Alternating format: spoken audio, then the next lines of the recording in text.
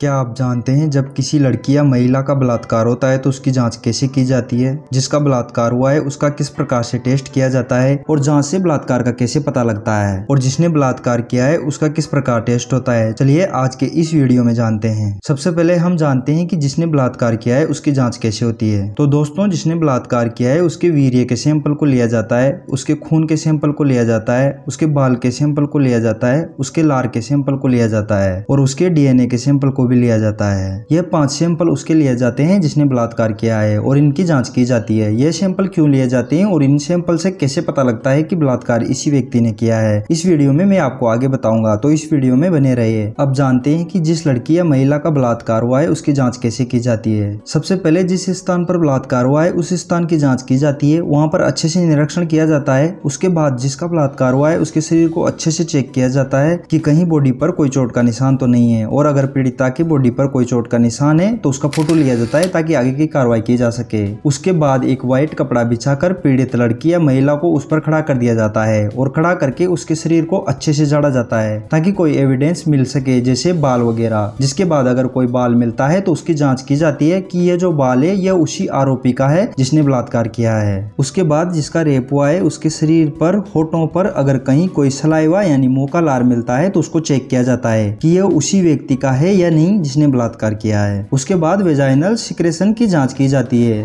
योनि से जो पानी निकलता है, उसकी जाँच होती है। अगर योनि में कोई वीर्य मिलता है तो उसकी जाँच की जाती है कि योनि में जो वीर्य मिला है, वह वीर्य उसी व्यक्ति का है जिसने बलात्कार किया है। और अगर वीर्य उसी व्यक्ति का है तो इससे पता लग जाता है कि इसी व्यक्ति ने बलात्कार किया है। उसके बाद अगर वेजाइनल एपिथेलियल सेल्स मिलता है तो उसकी जाँच की जाती है। यह सभी जांचें उस लड़की या महिला की की जाती है जिसके साथ बलात्कार हुआ है। और इन जांचों को उस बलात्कार आरोपी के सैंपल से मिलाया जाता है। अगर सैंपल मिल गया तो इससे पता लगाया जाता है कि इस व्यक्ति ने बलात्कार किया है या नहीं। तो इस प्रकार से बलात्कार की जाँच की जाती है। तो मुझे लगता है आपको इस वीडियो के माध्यम से यह पता लग गया होगा की बलात्कार करने वाले की कौन कौन सी जाँच की जाती है और जिस लड़की या महिला का बलात्कार हुआ है, उसकी कौन कौन सी जाँच होती है और जाँच से बलात्कार का कैसे पता लगता है। आज की इस वीडियो में इतना ही। अगर आपको इस वीडियो में दी गई जानकारी अच्छी लगी हो तो वीडियो को लाइक करें और अगर आपके मन में कोई सवाल या सुझाव हो तो आप कमेंट बॉक्स में पूछ सकते हैं। और अगर आपको ऐसे ही कानून से संबंधित वीडियो देखना पसंद है तो चैनल को सब्सक्राइब करना ना भूले। धन्यवाद दोस्तों।